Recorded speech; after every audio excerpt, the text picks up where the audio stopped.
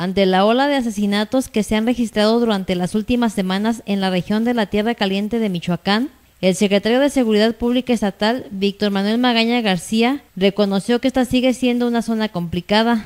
Toda la región de Tierra Caliente sigue siendo una región complicada en términos de, de reordenamiento. Yo creo que concluyendo el reordenamiento operativo de las fuerzas institucionales del Estado, tendremos ya una, situación de relativa calma en toda esa región. En entrevista, dijo que aunque a últimas fechas se han registrado casos de ejecuciones muy sonados, no quiere decir que haya un rebrote del crimen organizado, sino del impacto que tiene el reordenamiento de las corporaciones policíacas en la región. El rebrote no lo podemos calificar así, este, hasta donde tengo entendido de los casos específicos que se han dado y que han sido muy sonados, en, en, sobre todo en Apatzingán, en Tierra Caliente, pues la Procuraduría ya va muy avanzada en las investigaciones y ten, tengo entendido que, que no obedecen a casos particulares de delincuencia organizada. Magaña García dijo que se trabaja en coordinación con la Federación para neutralizar algún posible resurgimiento del crimen organizado en la zona.